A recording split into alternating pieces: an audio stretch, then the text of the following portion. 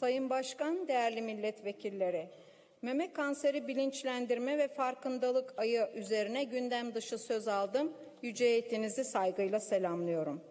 Dünya Sağlık Örgütü tarafından 2004 yılından bu yana meme kanserinde erken teşhisin önemi ve meme kanseri farkındalığının vurgulanması amacıyla 1-31 Ekim meme kanseri bilinçlendirme ve farkındalık ayı olarak belirlenmiştir.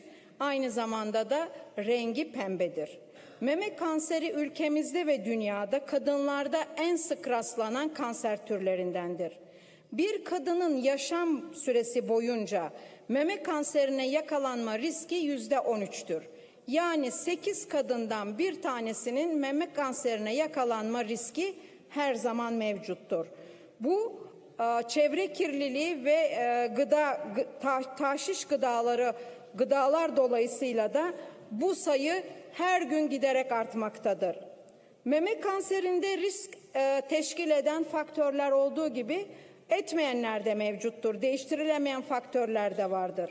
Hareketsiz yaşamımızı, beslenme düzenimizi, aşırı kiloyu, alkol ve sigara kullanmayı azaltarak, yağlı ve tatlı yiyecekleri beslenmeye bırakarak, hiç doğum yapmış olmamak, 35 yaşından sonra anne olmak, hiç bebek emzirmemek gibi bazı faktörleri değiştirebiliriz. Fakat değiştiremeyeceğimiz faktörler de var meme kanserinde. Mesela kadın olmak. Fakat emin olun erkeklerde de meme kanseri riski vardır.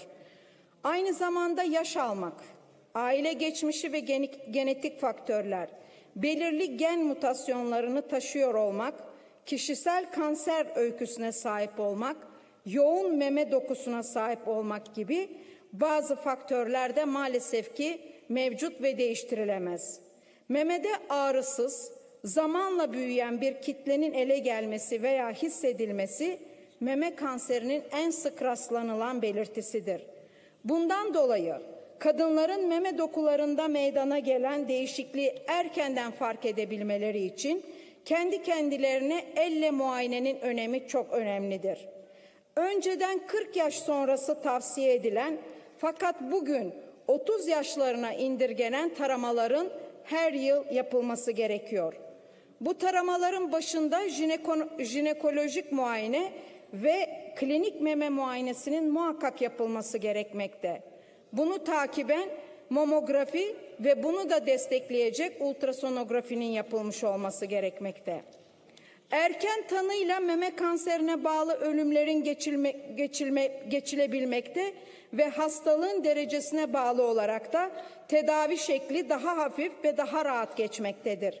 Bunun için Sağlık Bakanlığı'nın yerel yönetimlerle, üniversiteler, okullar ve sağlık kuruluşları ile işbirliği yaparak kadınlarımızın meme kanseri konusunda farkındalığı arttırılabilir ve taramaları yapılabilmelidir.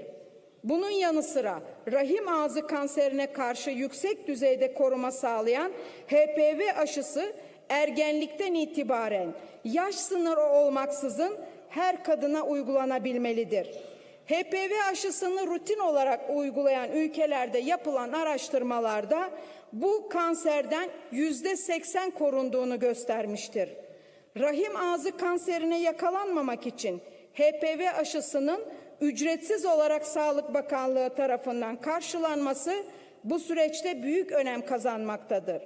Sakın iktidar milletvekilleri bütçe yok, tasarruf tedbirleri kapsamında bunları karşılayamıyoruz demeyin. Emin olun aşıların maliyeti yandaşlara ait sildiğiniz vergiden daha azdır.